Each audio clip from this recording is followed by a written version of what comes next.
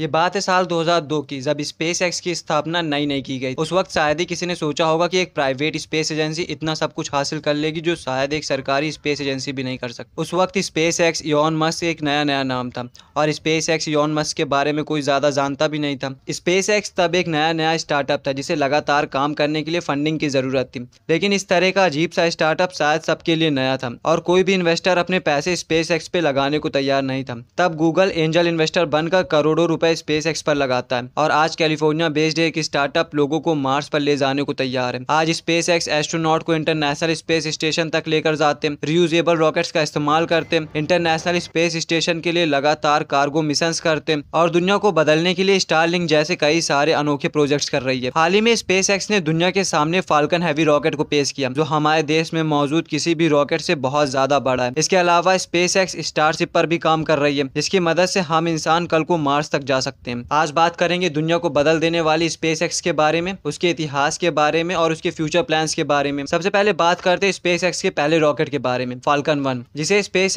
ने साल 2006 से लेकर साल 2009 तक इस्तेमाल किया था। और ये रॉकेट एक बार में 670 किलोग्राम तक का वज़न लो अर्थ ऑर्बिट तक लेकर जा सकता था। लेकिन ये रॉकेट शायद स्पेस के इतिहास में सबसे अनसक्सेसफुल रॉकेट में से एक रहा होगा। दरअसल स्पेस जब फाल्कन वन को लॉन्च करती तो लगातार तीन बार रॉकेट हवा में ब्लास्ट हो जाता है। और पहले तीन फ़्लाइट बहुत ही ज़्यादा अनसक्सेसफुल रहते हैं। स्पेस एक्स फॉल्कन वन को केवल पाँच ही बार इस्तेमाल करती है और पाँच बार में से तीन बार रॉकेट सक्सेसफुल लॉन्च नहीं हो पाता है। और चौथी टेस्ट फ़्लाइट में फाइनली रॉकेट एक डमी पेलोड को लो अर्थ ऑर्बिट तक पहुँचा पाता है। फाइनली जुलाई 14 2009 को मलेशिया की अर्थ ऑब्जर्वेशन सैटेलाइट को लॉन्च करने के बाद स्पेस एक्स के फाल्कन वन को रिटायर कर दिया जाता है। इस फ़ोटो में फाल्कन वन को देखा जा सकता है, जो की मलेशिया की सैटेलाइट को लॉन्च कर रहा है। सिक्सटी फीट लंबे इस रॉकेट को पैसिफिक ओशन के ओम लेक आइलैंड से लॉन्च किया जाता है। फाल्कन वन एक सिंगल स्टेज रॉकेट था। यही कारण है कि नाम के आगे वन का इस्तेमाल किया जाता है। और अगर आप सोच रहे हैं कि यॉन मस्क को फाल्कन नाम का आइडिया कहाँ से आया था तो यॉन मस्क ने अपने एक इंटरव्यू में कहा था कि जब वो स्टार वार्स मूवी देख रहे थे, तब उन्हें तब उन्हें मिलेनियम फाल्कन से बहुत ज़्यादा अच्छी लगी थी, जिसकी वजह से उन्होंने अपने रॉकेट का नाम फाल्कन रख दिया था। मलेशिया के सैटेलाइट को ऑर्बिट में सक्सेसफुली लॉन्च करने के बाद स्पेस एक्स अब सुर्खियों में आ चुकी थी। और अब कई सारी प्राइवेट कंपनी भी अपनी सैटेलाइट को स्पेस एक्स के ज़रिए लॉन्च करवाना चाहती थी। इसीलिए स्पेस एक्स को एक ऐसे रॉकेट ज़रूरत थी जो एक बार में ज़्यादा से ज़्यादा सैटेलाइट को स्पेस में लॉन्च कर सके। इसलिए अब कंपनी फाल्कन नाइन रॉकेट पर काम करती है। दरअसल पहले इस रॉकेट का नाम फाल्कन फाइव था, जो की बाद में बदलकर फाल्कन नाइन रख दिया गया, क्योंकि इसमें पहले स्टेज पर नाइन इंजन लगे हुए थे, इसलिए इस रॉकेट का नाम फाल्कन नाइन रखा गया।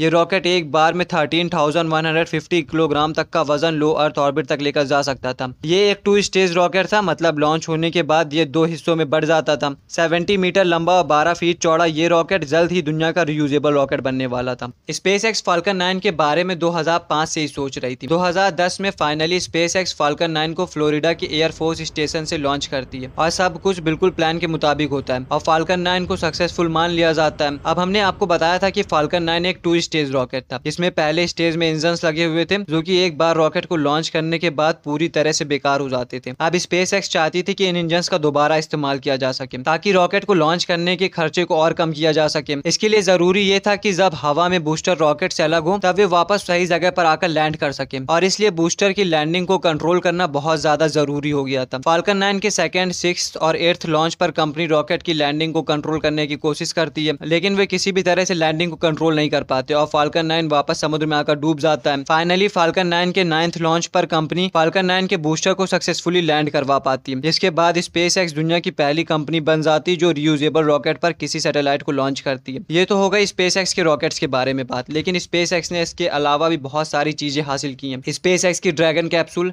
grasshopper drone ship landing Falcon heavy rocket Starship जैसे कई सारे सक्सेसफुल मिशन किए इस, इसको हम डिस्कस करेंगे लेकिन अपने अगले वीडियो में। तब तक के लिए जुड़े रहिए हमारे साथ सब्सक्राइब करें हमारे चैनल को and press the like button